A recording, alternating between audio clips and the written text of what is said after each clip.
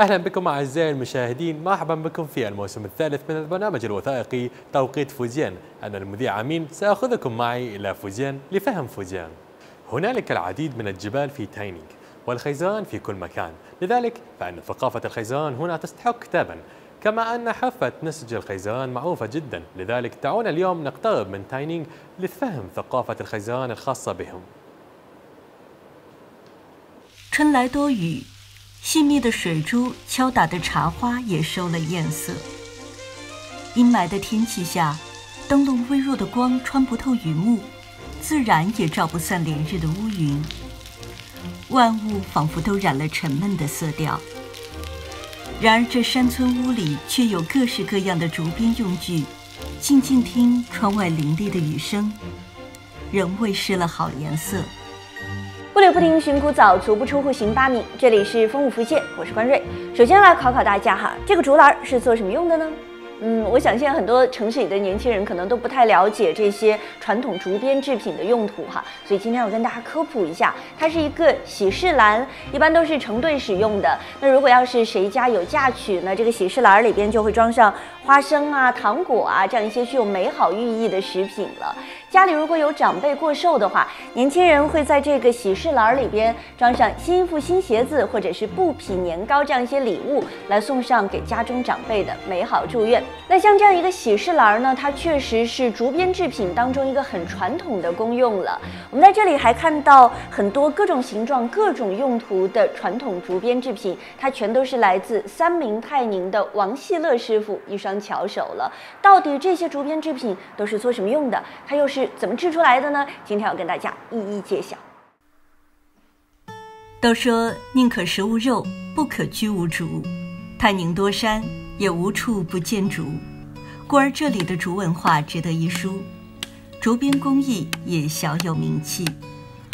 王希乐王师傅便是远近闻名的竹编手艺人。他常在天光乍现时爬上山岭，选一棵好竹。拔下后再扛回山下的家。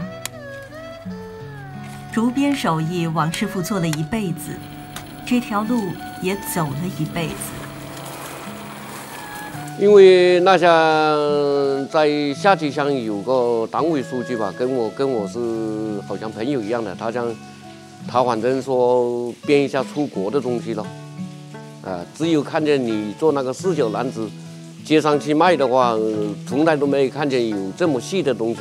你每一种都产品都要做，有的现在女孩子可以可以用得上的呀，皮包啊，或者是篮子啊，圆形的啊，长形的啊，啊，扁形的呀，你都要做一点。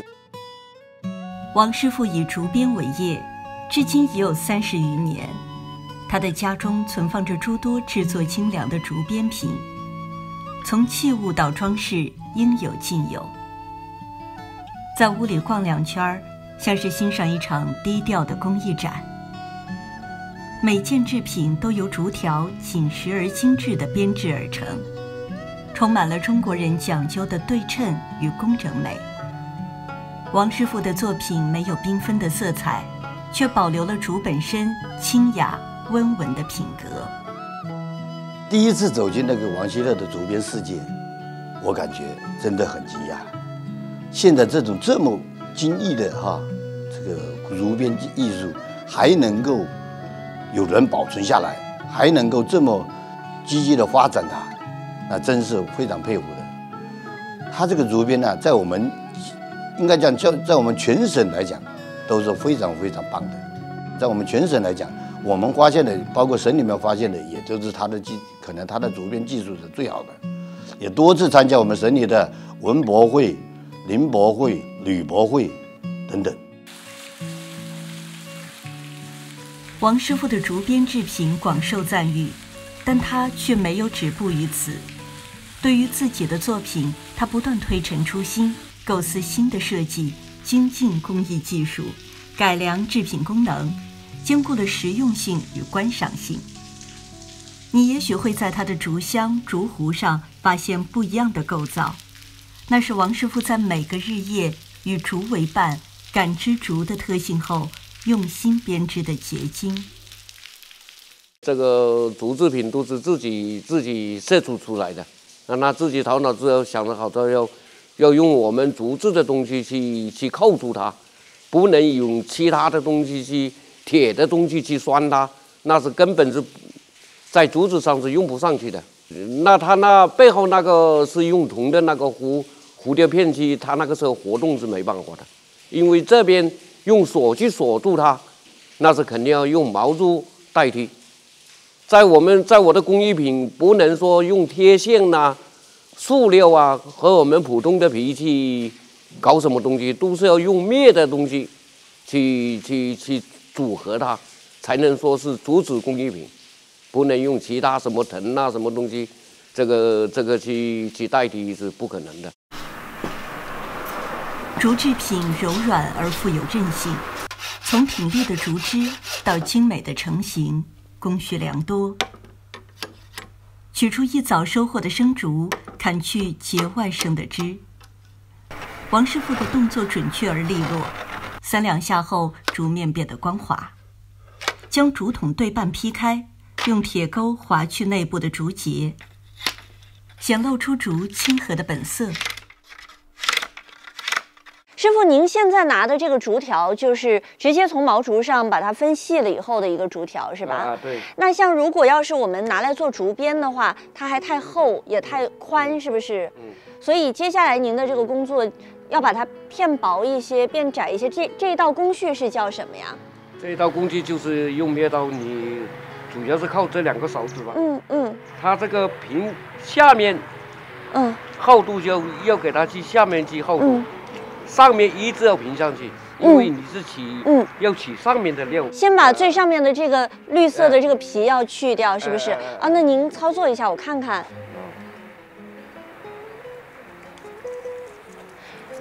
那其实我看像您在操作的这个，就是把这个表面这一层皮片掉的时候，哈，留下的那个竹条其实厚度还是挺厚的，所以可能您待会儿要分这个厚度和宽度的时候，也要想一想，就提前就要知道自己是要编什么样的制品，大概需要多宽、多厚，是不是？哎，要破什么面？还是还是破面编的呀？还是破面是？绕一圈一圈的，这个这个就不就不同样的破法了。哦，如果是要绕一圈一圈的，那就需要柔韧度特别高，就要比较细的那种，是不是？要细就是要取掉几层了。哦，要取掉好几层是吧？也刮掉。嗯。要刮掉以后，再要用刨刀。哦，我我试一下好好？这个这个糍粑要给我打下去。这个啊，我要我要我要扶在这里，对不对？扶在这里劈劈，哎，你要刀刀要手要离离刀啊。嗯。哎，不敢。手要拿在这里，是不是？啊，对呀。然后要要要比较使劲儿的这样。哎，要我要我要要要使劲的，要要松开来。我刚才看您操作的时候，觉得很轻松，就是整个动作很顺畅哈。然后当我自己拿着这把刀的时候，我就不太敢动，我生怕这个力度要是没有掌握好，可能就把这只手会会碰到，会弄伤。哎，您原来在刚刚学徒的时候会弄伤破灭的时候会弄伤自己的这只手吗？也会，经常会发生，是不是？经常会发生，但是很少数。哦，经常这个次数比较更多一点，个把也更更多一点。就可能初学的时候比较多，是不是？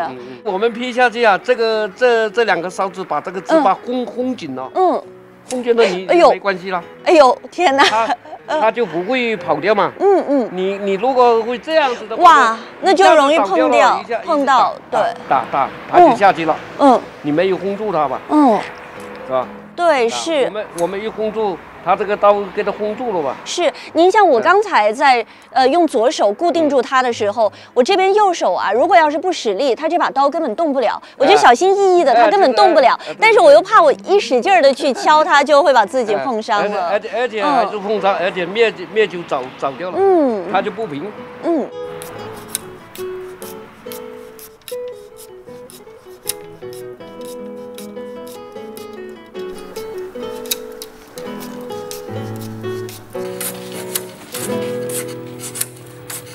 做面这个要经过这个锻炼啊，你想也没用啊。意思说你要经过从小要学要破面啊，破面是最大的难处。破面它要破得很平啊。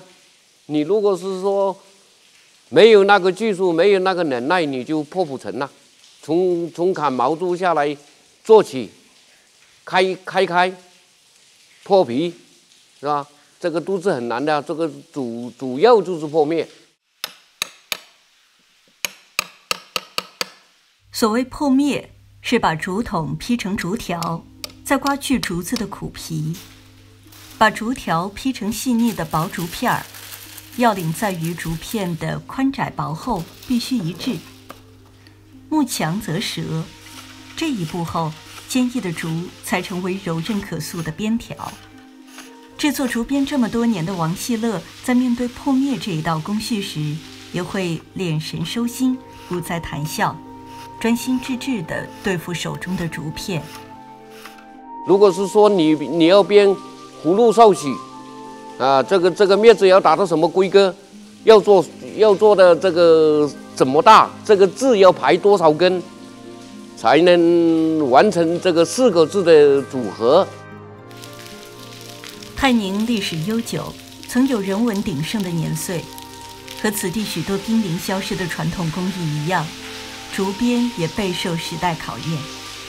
不仅仅是技艺在消失，而是懂它的人越来越少。王师傅看着自己的作品，有掂量，有评估，更多的也许是不舍和惋惜。他与竹制品安静地交流着。在乡野的一隅，惺惺相惜。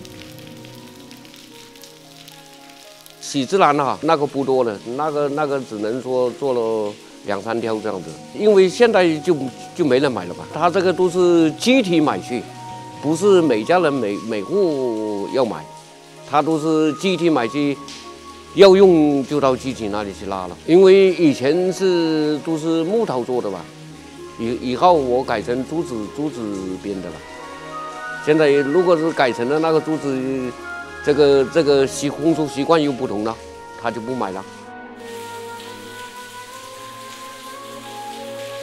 泰宁竹编有种独特的美，喜事栏上的花好月圆不仅仅是装饰，更是自古以来泰宁人对美好生活的向往和祝福。在这个山清水秀的地方，这一富有地域特色的民间工艺品。也悄然成为外地游客眼里害宁的象征。呃，我们更多的看到的那个传统的这竹编呢，它比较简单化啊，生活化。应该它这个呢，除了我们生活化以外，它更多的是艺术化。它把我们这个呃传统的一些喜庆的东西，还有我们这个传统文化的元素啊，比如说一些字，给它一起编织在这里面。那说实话，真的是一个是从它的技艺来讲是比较高超的，比较难的；第二个呢，从它的保护文化来讲，传承文化来讲，也是非常的可贵的。泰宁是一个非常多竹山的一个地方，竹制品非常多，它对于我们泰宁这个旅游文化来讲，是起着一个非常好的一个宣传活动，啊，也为我们泰宁的传统文化呀。增光添彩。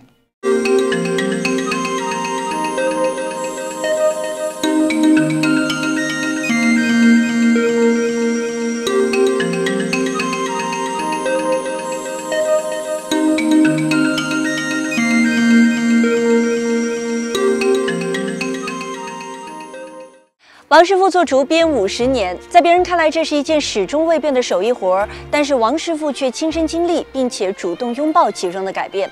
当年他当学徒的时候啊，主要做的都是米筐、篮子这样一些农具或者是生活用品，实用是第一位的，好看不好看根本没有人太在意。可是如今，王师傅在自己的竹编制品当中设计出更丰富的配色和花样，甚至还做出了像女装拎包啊、首饰盒这样一些时尚制品，就是希望这。这些诞生于小山村的竹编制品能够飞出大山，装点人们的生活。يمكن الأكل بدون لحم لكن لا يمكن العيش بدون خيزران انعدام اللحم يجلب النحافة وانعدام الخيزران يجلب الابتذال لا يزال سحر منطقة تاينينغ الممتدة لآلاف السنين يتألق مشرقا وبراقا في منتجات الخيزران شكرا على حسن المتابعة وتفضل الآن بمشاهدة برنامج أمين في فوزيان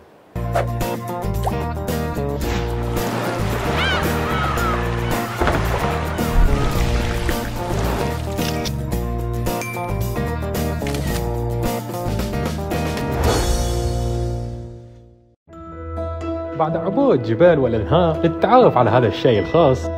طعمه أعطاني تخيلات جميلة. بعد نزول الجبل تمكنت أخيرا من تذوقه.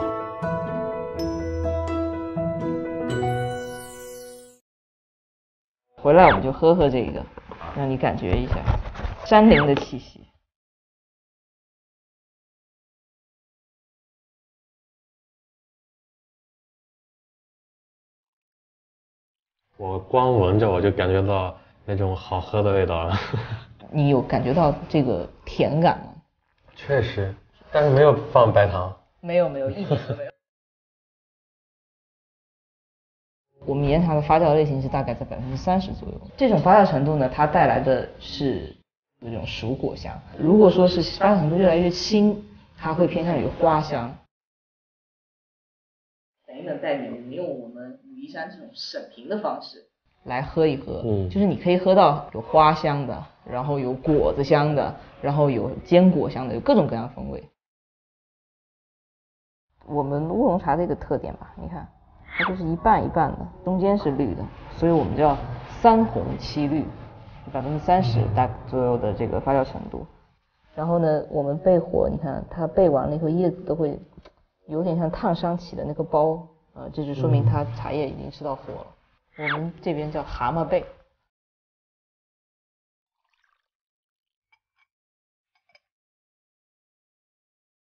一个茶，它是。在泡的过程，它也是一个生命的展示，就是温度来激活它。它这个是慢慢慢慢，就最精华的二到六重。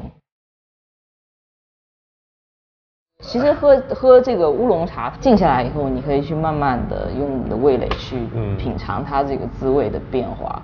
其实喝茶是一种很放松的状态。我们主重强调的还是茶的本身，是你喝茶时候这种心境。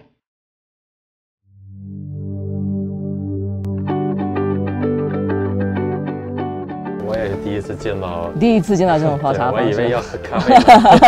是传统的冲泡方法的话，我们是反复的冲泡，然后呢，用这种冲泡方法，就是我们跟咖啡一样，它是用一次性的这种萃取的方式来做的，然后去体现我们的这个岩茶是怎么表现出来的，深层次的萃取，尽可能展现出来它一泡茶的这种滋味感。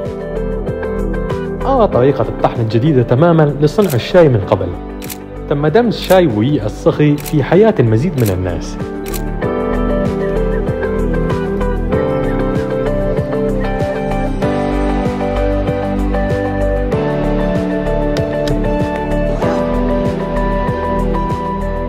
这十多年，你在岩茶这方面有做哪些探寻和深挖？其实从一开始，我最早到武夷山来，就是从工艺上面。 最基础的工艺开始，一点一点的学习，然后用我们自己理解的工艺去给它做，给它展示出来。喜欢户外的人，他一定是喜欢人在自然里面这种感觉的。所以说，好的茶，它一定是在这种很自然的这种生态的这种环境里面的。从刚刚开始做到现在已经十二年，我觉得茶它只是一个载体，它其实可以在任何的地方、任何的事物上面，它其实都有一个联系的。我们人就是自然当中的一份子。我们也要回到这个这个自然当中。其实通过今天的了解，我才发现，其实武夷山的岩茶它有非常多的品种，这些不同的品种茶就像人一样，是很有个性且很有生命力的。没有所谓的好喝与不好喝，只是每个人的喜好不同。我相信在武夷山，大家都会找到自己的梦中情茶。